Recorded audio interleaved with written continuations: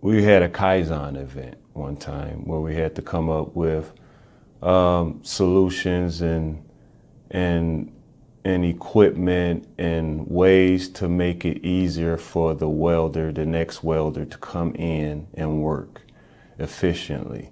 So I had to. It was like a four or five man team.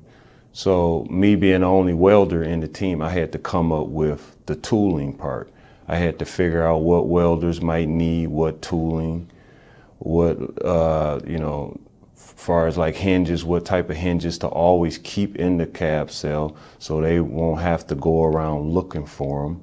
Uh, what type of DA pads or grind pads should go in there so they can you, you know use the proper finishing tools to finish the part because you know the part has to be finished in a specific manner.